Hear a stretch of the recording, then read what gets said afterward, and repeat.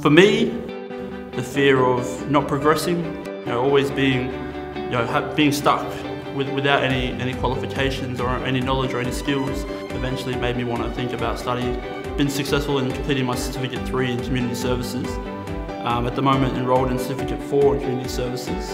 Um, enrolled in the Tertiary Enabling Program through CDU. In three years I do see myself being a qualified social worker somewhere more remote than, than Alice Springs, probably Tennant Creek. That's where I'd like to work. I've always wanted to be part of the fitness industry. My husband and I both wanted to run a, a fitness business and I decided that that was it. Once I had my third child, we were in there getting our Cert um, three in fitness and we've just kept moving on. We've just kept working through the fitness industry and then finally starting our own business. We're teaching um, families basically to be fit and well and going into schools and teaching kids right from little all the way up.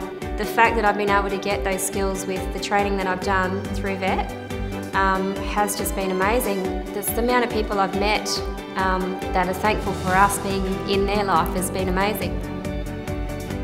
Being a finalist in the NT Training Awards means the world to me. It's given me a lot of pride in myself um, and in my work in my industry.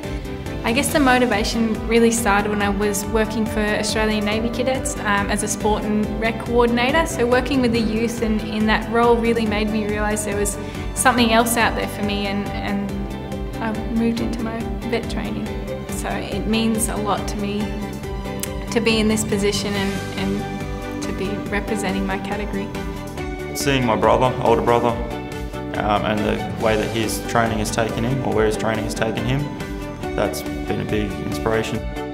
My training's given me the confidence as well as the knowledge and skills to actually perform my duties at work.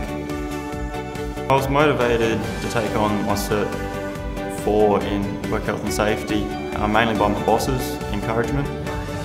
It shows me that my bosses have recognised my efforts that I've been putting in over the last few years to nominate me for this.